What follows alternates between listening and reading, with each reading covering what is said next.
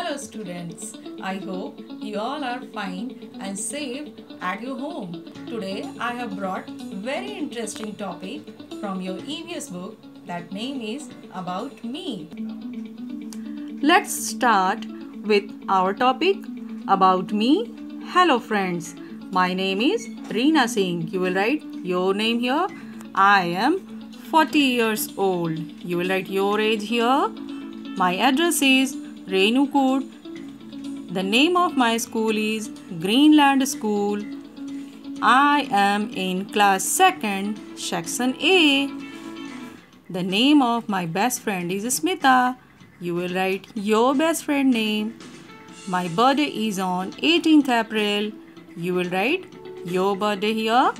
My height is 5 feet. You will ask to your parent and write your height and my weight is 60 kg. Here you will write your weight. Some here topics is my favorite. My favorite game is badminton. What is your favorite game? Just write down here animal, cat, flower, rose, fruit, mango, toy. I am not written here toy because of I likes all toy. You will write your favorite toy here. TV channel is discovery.